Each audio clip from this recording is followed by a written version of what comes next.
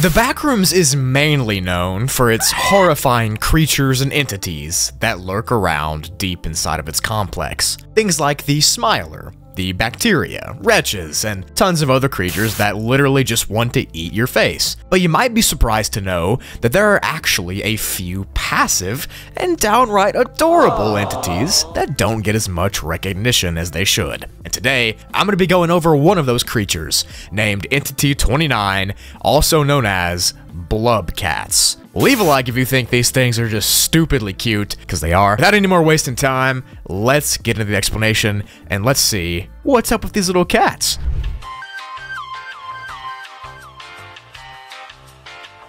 Blubcats have been given a Class 0 to D plus safety rating and are not overly aggressive, but they are sentient entities. They take the appearance of round blobs with the overall look of a house cat. The majority of these blubcats have similar features as the real-life counterparts, except for the fact that they look like a balloon. They come in a variety of shapes and sizes, as well as colors and personalities. Now, interestingly enough, no photographs or videos of blubcats have ever been recorded, so the ones you're seeing right now in this video are drawings or recreations of the entity. And the reason there's no actual images is because blubcats are very skittish when cameras are pointed at them. It's almost as if they know they're being recorded and they're trying to avoid it for some reason. You can literally point a camera at one, even if its back is facing you, and it'll still run away. It's like it knows that you're trying to watch it or something. So blubcats lack all organs that are inside real life cats, and they don't actually have any nerve endings or anything like that. And because of this,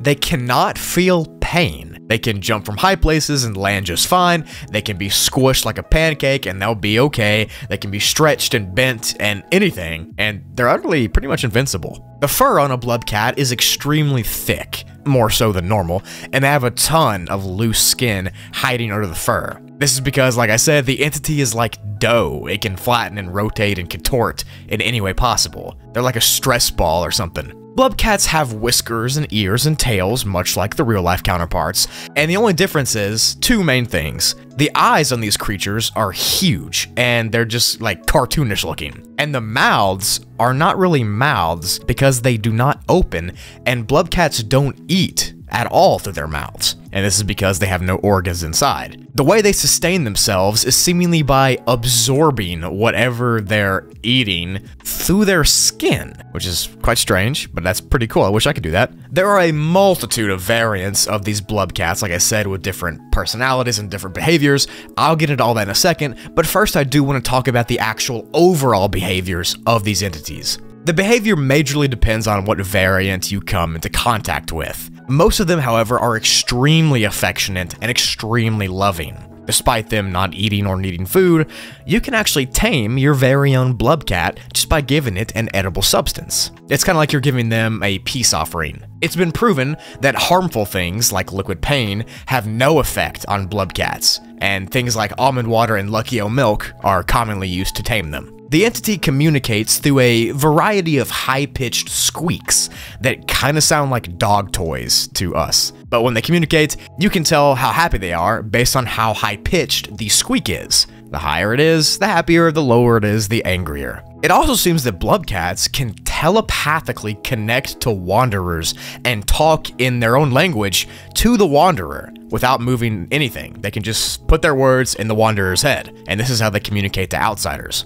Blubcats tend to travel alone and float around the safe backrooms levels, but some of them travel in packs of three to five. These packs have been named globs, and in a funny twist, blubcats only seem to travel in packs if they're going through a dangerous level or a place where the environment is not forgiving, and they travel in packs to kinda like ward off entities. If a level has a class 4 or 5 difficulty, then you'll likely see them in a glob, but if it's a 2 or 3 difficulty, they'll likely be alone. Blubcats have also been seen getting along with other entities, like partygoers and party boopers, although they don't seem to like it when harmful entities like partygoers chase humans because they've been heard growling in a low pitch. These blubcats are pretty much invincible due to their biology. Like I said, they're putty or like a dough ball or something. They can't be broken, but they can be bent and ripped and torn, and it's really funny. I imagine it's just like a giant squeaky toy. And because of this, they actually enjoy being thrown around and squished. That's what they get their fun out of. The cats also really aren't scared of anything besides cameras, so they're not afraid to run through dangerous places, and they're really not afraid to approach humans either. And just like every other entity in the backrooms, these blubcats have other variants. I want to get at each of them right now. These are very different, so make sure you listen up. Black blubcats are the most common type that you'll see or run into. They are very passive, very lovable, and they're known for their thick black fur. They're also not a large variant, they're pretty small and weigh around 5-ish pounds. You can tame a black blubcat with Lucky O milk or almond water. White blood blubcats are very, very, very rare, and they like to hide from everything, and they're really good at it. They do it almost as if it's a game. The white ones tend to be longer and more cylindrical shaped, like think of a breadstick or something, and they're actually the most similarly shaped to a house cat from real life. Gray blubcats enjoy being thrown. They love to be picked up, love to be thrown, and they love to float around different levels. They have thick gray fur, and they also have folded ears, which sets them apart physically from the others because normally they have pointy, sharp ears. Brown blubcats are egg-shaped blubcats. They have the same personality as the black blubcats, and that's literally it.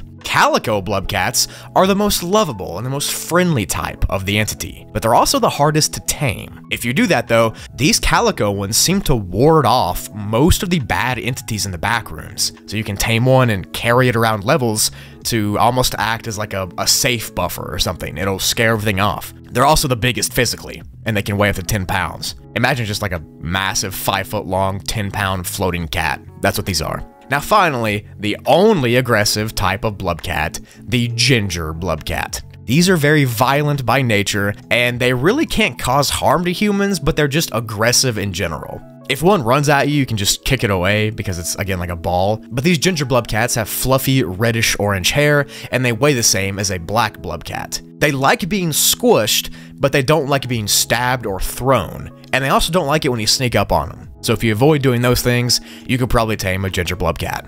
If you encounter one or any of these variants of cats, squish them, give them a peace offering of Lucky O milk or almond water, and pet them. But never under any circumstance approach a ginger cat without food or water because it'll try to attack you out of anger, and you'll have to fight off this floating cute cat ball. I really want to tame all of them, bro. They're so cute.